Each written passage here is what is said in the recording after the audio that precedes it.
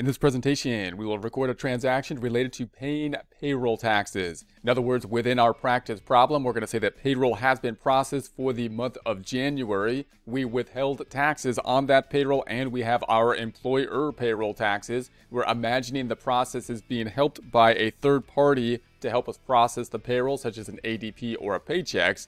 Now we're going to be paying off those payroll taxes. It's time to engage with Sage. 50 Cloud Accounting.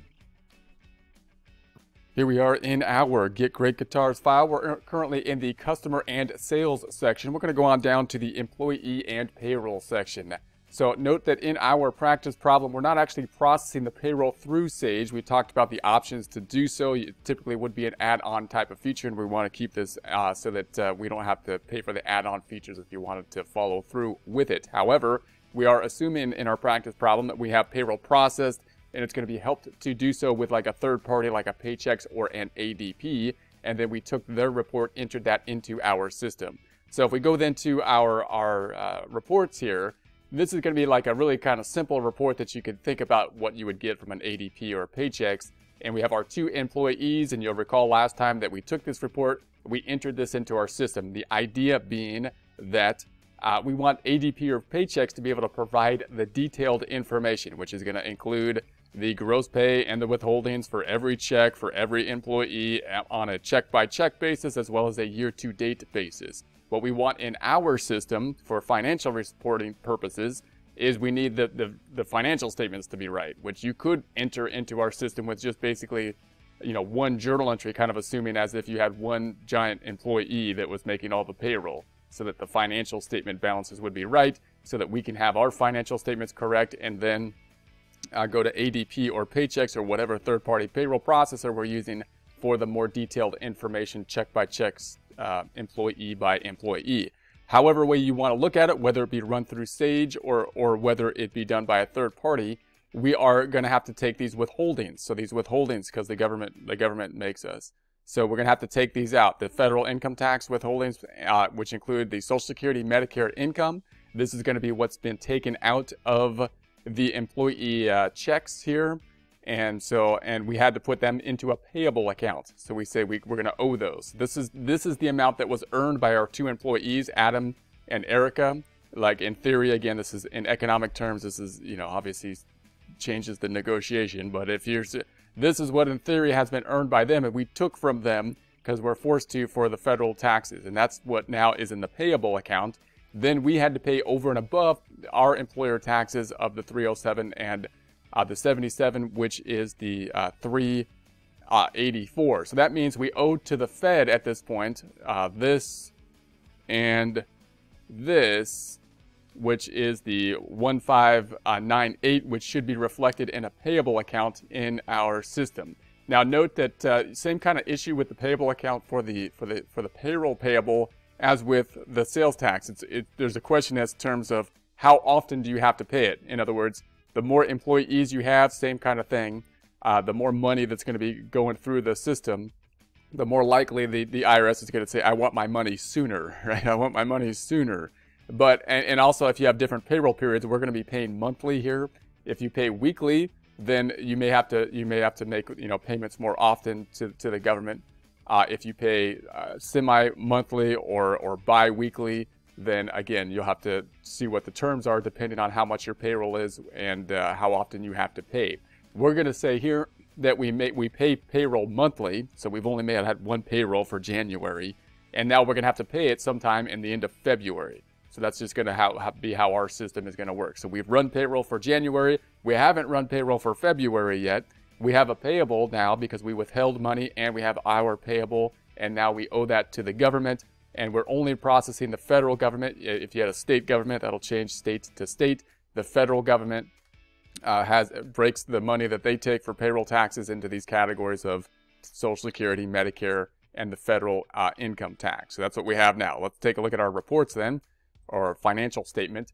Let's go to the uh, reports drop down and go on down to the uh, financial statements over here and then open up the old balance sheet. Let's open up the old balance sheet as of February. So we want to take a look at the month of February, February, and then go down to the liabilities. So there's what we owe. So there's the 1598. Now that's all for Jan- for for the month of January because we haven't run February uh, payroll yet, and we only uh, do the payroll once a uh, month in, in our system here. We only we only pay people once a month. Our employees would like to get paid more often. We've been discussing it with them whether we should pay them bi-week. Anyway, so we've got the 1598. So we're going to be paying that to them now. We're just going to write a check, and I'm going to I'm just going to write a check to the to the Fed on it. So let's go back over. I'm going to go back to the first tab here. So I'm going to write checks to, to do this. I'm actually going to write uh, three checks just so you can see. I'm going to go back up to the vendor and purchases section. So you can see kind of the breakout. So I'm going to write a check for Social Security, Medicare, and federal income tax, even though it's all going to the same place. In essence, it's going to the IRS, just so you can see that breakout for the three components or types of taxes. So I'm going to go to the write check. It's also going to help us with our bank reconciliation because I want to have some more items for the bank rec. So we're going to go to the new check. So we're going to be writing a new check. We're going to add a new vendor up top. So I'm going to say a, a new vendor. So let's put a new vendor here because we haven't uh, we haven't written any any checks for the payroll as of yet. And then let's put the ID is going to be, I'll just put the IRS here, IRS, and then it's going to be uh, the name. I'll put the full name here, Internal Revenue Service. You have to say it with like a, a menacing voice because they're kind of scary. So that's going to be that. And then the expense account is going to be, we'll, pay, we'll pick up the, uh, actually the liability account here. So I'm going to go back up top. I'm looking in the liability accounts, federal payroll tax payable. That's the one we want. That's going to be the default. And then that looks good. So I'm going to save that and then close this back up. So close this back up. and then we're going to put in the IID, the IRS. And then I'm going to tab through this here. And number, I'll just put a number up top for our practice problem. And then I'm going to make this on the 29th. And then the dollar amount is going to be, I'm going to break this out again. I'm going to say, okay, Social Security is going to be the employee portion and the employer portion. So that comes out to the 614, uh, the 614, 614, 614, 614, 614, 614. So I'm going to put that 614 here. And there we have, this is going to be the Social Security payroll tax. And the other side is going to be going to this here. So the split is going to the federal taxes payable. So there is that. So we're going to say that looks good. Let's save it. So we're going to save that. And let's do it again. We're going to make another one to the IRS. And it's going to be for, uh, let's make uh, this uh, 7, 29th. And then let's make this for the Medicare portion. So that's going to include the Medicare that we took from the employees because they, they made us. And then our portion that we had to match the 154, the 154. So that's going to be the amount here, the 154, 154. And this is going to be Medicare, Medicare payroll tax. So that's going to decrease the, the account. I have the checking account, right? Yeah. So it's going out of the right account. And the other side is going to be decreasing the payable. So let's do one more. So we're going to say one more. And this is going to be going to the IRS as well. And this is going to be for uh, the amount of just the federal income tax. Now, this is only the employee portion. This isn't our tax we have to pay because we have to pay federal income tax too as the company. But this is what's what they have to pay for the employee federal income tax, and there's no matching on our side for their federal income tax. We pay our federal income tax on the on our net income. So that's going to be the 830. So that's going to be 830, 830. And this is going to be the FIT, Federal Income Tax Payroll Tax. And that's going to be that. That looks good. Let's save it. Let's go ahead and save that. And then let's close this back out. Going to close this back out. We're going to go back on over to our balance sheet and see what happens on. Let's see what's going on over there on the balance sheet.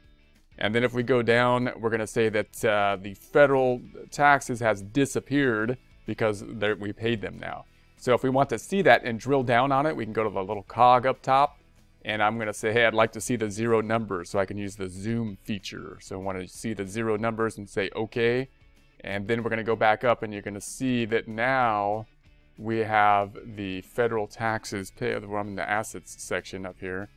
We have the federal taxes payable here. I'm going to double click on that zero. And so there we have it. So we have our three checks that we paid off. Now, if I open this up and just take a look at it for January and February for the two month time period, and then say okay.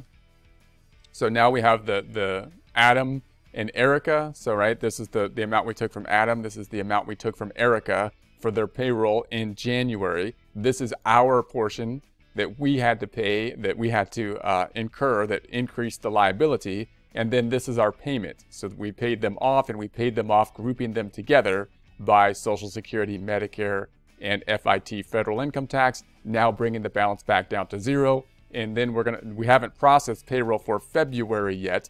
So when we process payroll for February, we will once again have a liability for our two employees and our portion of the federal payroll taxes, which we will then pay to the government in uh, March. But that'll be beyond our problem, so we won't get to see that part. That part. So that's going to be it for now. Let's get out of here.